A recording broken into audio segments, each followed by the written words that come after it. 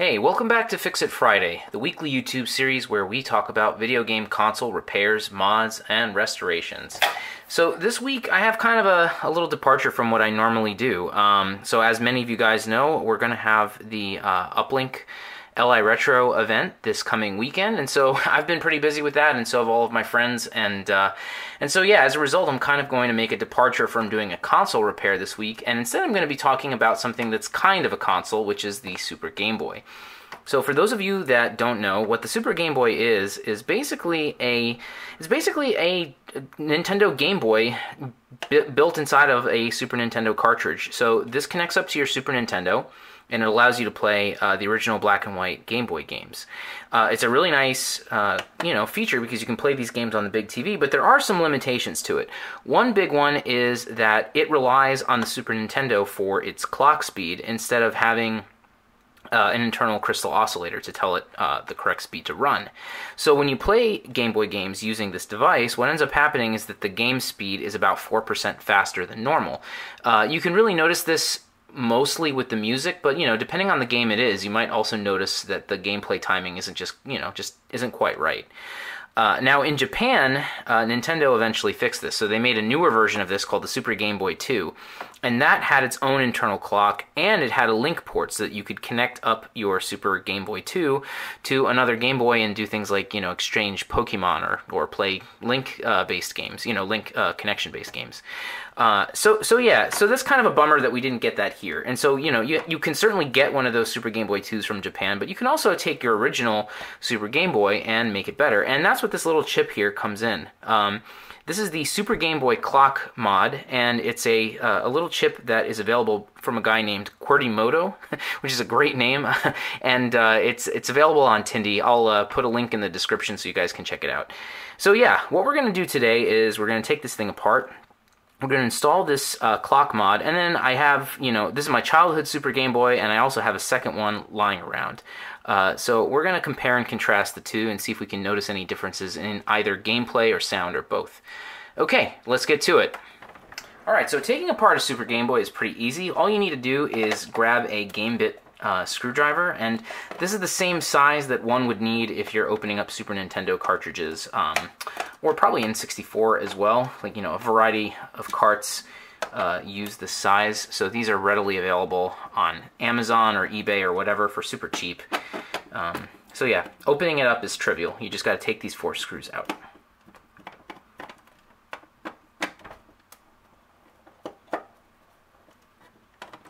All right.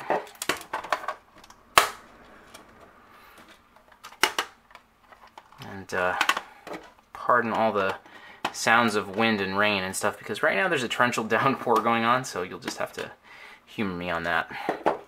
All right, so it just kind of hinges up. You see there's like these little these little tabs right here, and that's true of any Super Nintendo game. And uh, yeah, so now I just got to take out these two screws, and uh, this is basically the Super Game Boy. And, and like I said before, it's effectively a Game Boy um, with all the functions um, that, that a real one does, except it doesn't have a screen, and, and like I said, it's relying on the Super Nintendo for the clock. Okay, so to start, what we're going to do is we're going to be removing three components. We're going to be removing R1, R7, and C15. So those three little surface mount components. Not too bad. So to do surface mount parts, I add a little bit of flux, I heat up both sides, kind of go back and forth rapidly, and then there we go. It's gone. And I'm just going to rotate this for convenience. And we're going to do the same thing over here to C15 and to R7. There we go.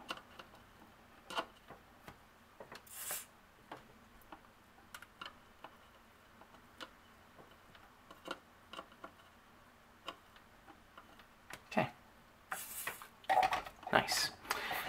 All right, so the next thing I'm going to do is just grab some solder braid and we're going to clean those up.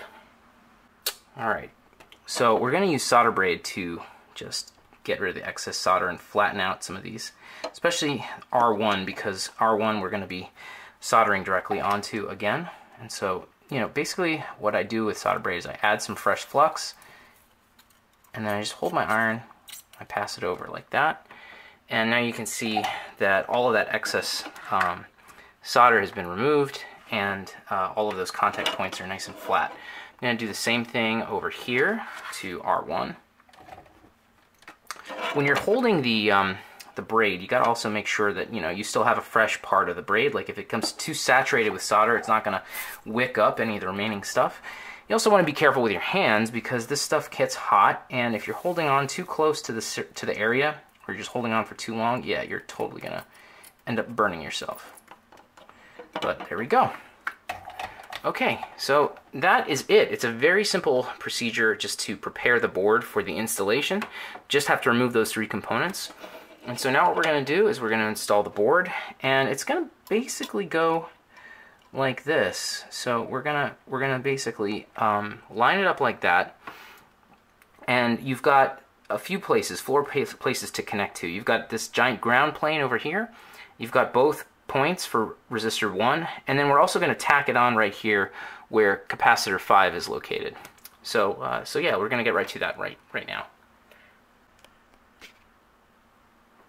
Alright, so, like before, we're going to add some flux just to make sure we have nice, easy connections here, because all this stuff is kind of small. And what I'm going to do is start by just tacking it into place. So I'm going to add a little solder to just the iron here, hold it down, and I'm going to start with the ground plane here. Just enough to line it up and tack it in.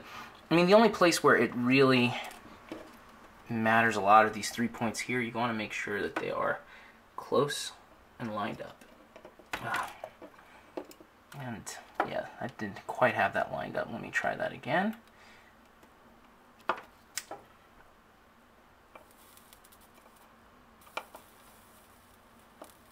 Okay, so now that guy is locked in.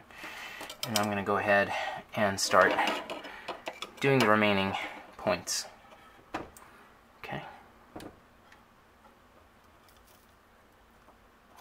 There we go. That's the ground plane all set.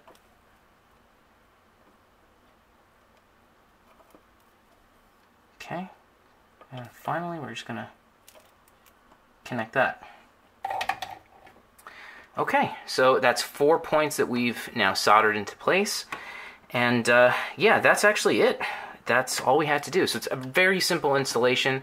Um, I know it's surface mount soldering, but um, I hope I've demonstrated that it's not difficult to do.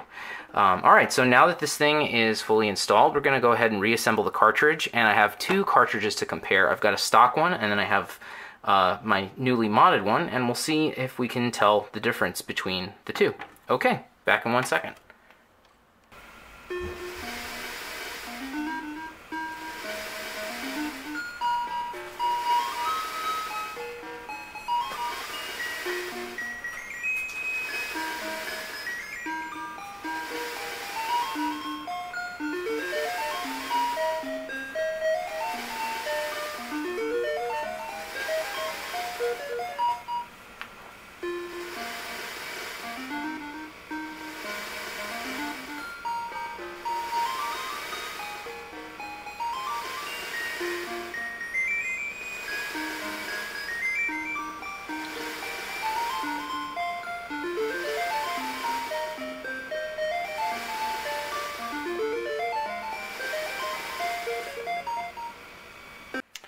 Alright guys, so there you have it. Um, hopefully those two recordings side by side will help make it clear that um, with this new mod installed, the Super Game Boy runs at the correct speed and the sound plays right and uh, the game timing is also going to be uh, correct compared to um, you know a real piece of uh, hardware, a Game Boy. I think the only thing missing, of course, is that you don't have a link port connected to this, but you know, honestly, that's not something I'm going to use. If I ever use a Super Game Boy, it's always just going to be to play my Game Boy games on the big screen. And now I can, you know, do that with a really accurate experience, and uh, and that's why I did this in the first place. All right, so if you guys like this content, then you know I would definitely appreciate a thumbs up, and uh, you know it'd be awesome if you could subscribe to the channel. Uh, I have videos like this coming out every every Friday, and uh, definitely check out the upcoming LI Retro Uplink. That is going to be tomorrow uh, on Saturday and Sunday. So uh, you know we've got lots of great panelists. Uh, we have free play. We have a ton of stuff to do. Uh, I highly encourage you to check it out. Okay, so thanks again for watching, guys, and I will see you next time. Bye.